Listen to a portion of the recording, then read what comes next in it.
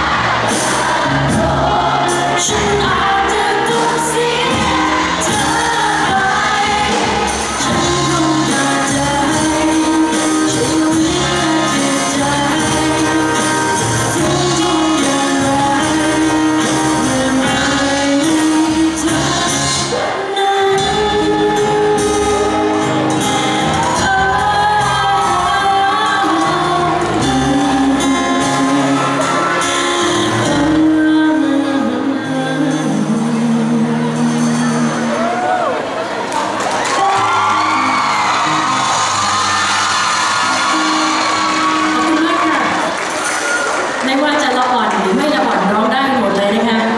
เยี่ยมที่สุดเลย จะบอกว่าเพลงนี้ชื่อเพลงว่าวันนั้นนะคะ